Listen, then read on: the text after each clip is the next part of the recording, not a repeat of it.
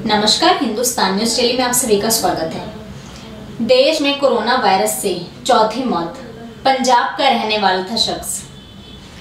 धीरे धीरे पैर पसार रहे कोरोना वायरस से, एक और शख्स की मौत हो गई है। देश में कोरोना से जान गंवाने वालों की संख्या अब चार हो गई है।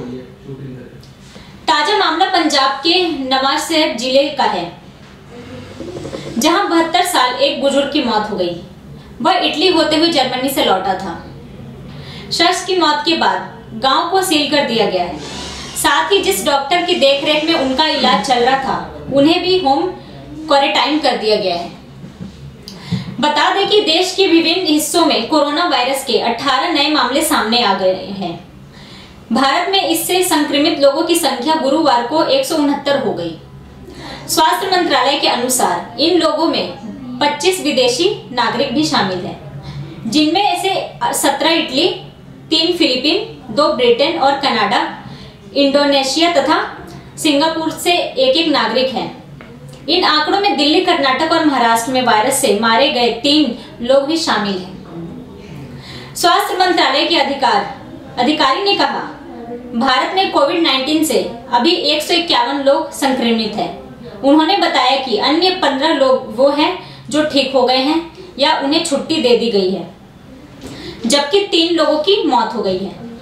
जी हाँ ये चौथी मौत है जो कि हमारे देश में भारत में चौथी मौत है। आपको बता देते हैं हम दुनिया भर में कोरोना वायरस महामारी से 8,800 से अधिक लोगों की मौत हो चुकी है। इनमें से यूरोप में मरने वालों लोगों की संख्या जो है वो है चार जबकि एशिया में तीन हज़ार 416 है। पिछले 24 घंटे में इस वायरस से और 712 लोगों की मौत हो गई और संक्रमित लोगों की संख्या नब्बे हज़ार दो सौ तिरानवे है।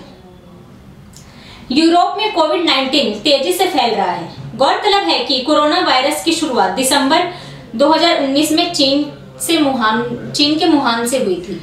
हम आपको बता दें कि आप बिल्कुल भी डरिए मत, स्वस्थ रहिए।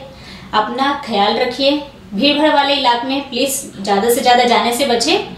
सैनिटाइज़र का इस्तेमाल करें। अपना ध्यान रखें। धन्यवाद।